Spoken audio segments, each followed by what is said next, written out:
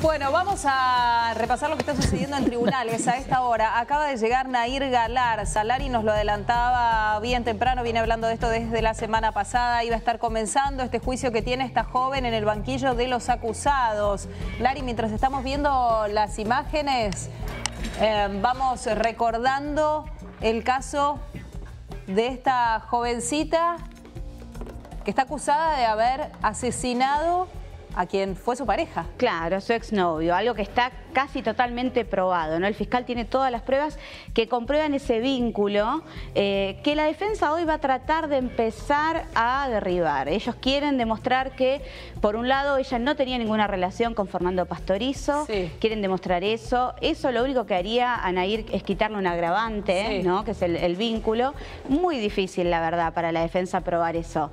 Eh, Nair llegó cerca de las 7 y cuarto de la mañana a tribunales, custodiada por la policía de la provincia. Sus padres ya están ahí para acompañarla.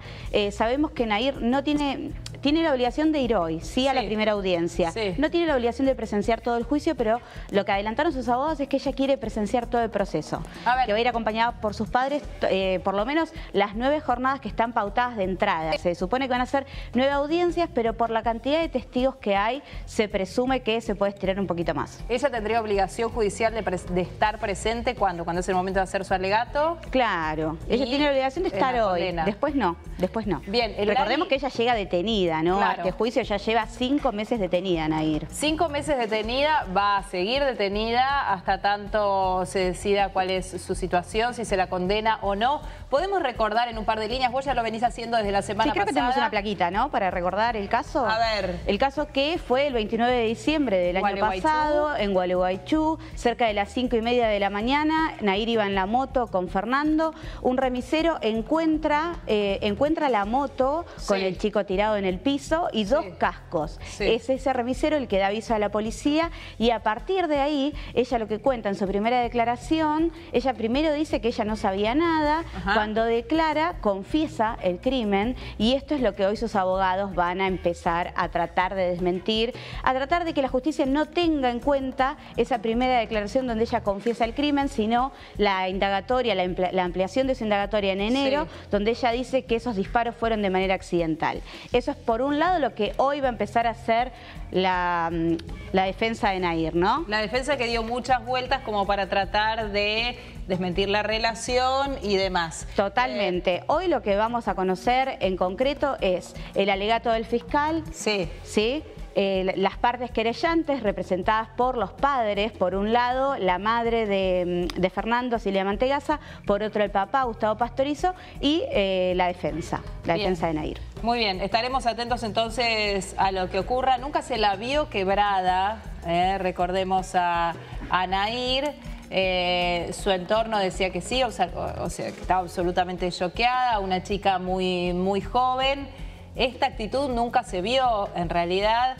Eh, veremos qué, qué, pasa en el día de hoy, ¿no? Cuando le toca estar en esta situación que, a pesar de que ya viene como, digamos, la situación de prisión para una chica joven, de una familia relativamente acomodada, eh, mucho se había hablado de eso, ¿no? También al principio cuando recién sucedió. Totalmente, porque más allá de ver de todas las pruebas que hay, vemos más o menos cómo se, cómo se direcciona todo esto, pero estamos hablando de una chica de 19 años que mató a su novio de 20, ¿no?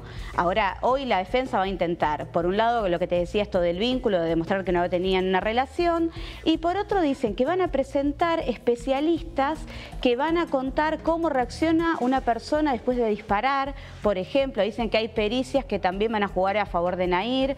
Hay que ver todo lo que presentan. Se supone que van a ser en principio nueve audiencias. Se va a estirar un poco más por la cantidad de testigos que hay. 50 presentados por la querella, 30 presentados por la defensa. Eh, van a ir también amigas de Nair a declarar. Van a intentar demostrar esto del vínculo de hostigamiento y de violencia de género, del que hablaba su, defensa, del que hablaba Soncini, ¿no? que era hasta hace poco su manager también. Eh, van a intentar demostrar todo eso. Eh, la familia de Fernando va a ir después que presenten todo esto. Después que Nair hable, si Nair decide hablar hoy o si su defensa presenta esto, los padres de Fernando van a ir después. Entendemos que es la primera vez que se van a cruzar, ¿no? Personalmente, después del hecho.